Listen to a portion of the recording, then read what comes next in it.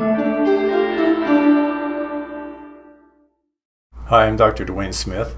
I practice as a chiropractor in Colorado Springs, and I have been in practice for over 35 years. As a youth, I grew up in southern Idaho on a farm.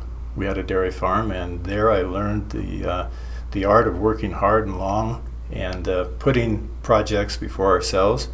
I also had the opportunity of being injured a number of times and learned firsthand what pain felt like and what it felt like to continue doing things in life with pain and discomfort.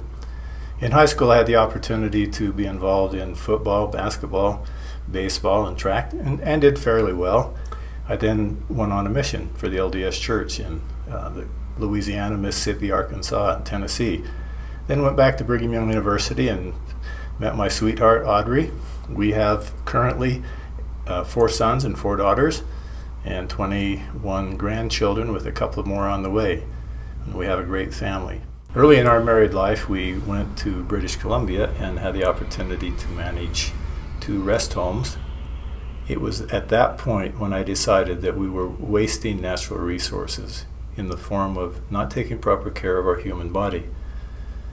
After much research, I made the determination that I could help people the very most if I were going, going to go into a natural health care field such as chiropractic. After researching all of the colleges, we chose Davenport, Iowa, and went to Palmer College of Chiropractic. There had a tremendous experience and learned to love and appreciate the human body's tremendous God-given ability to heal, recover, and regenerate.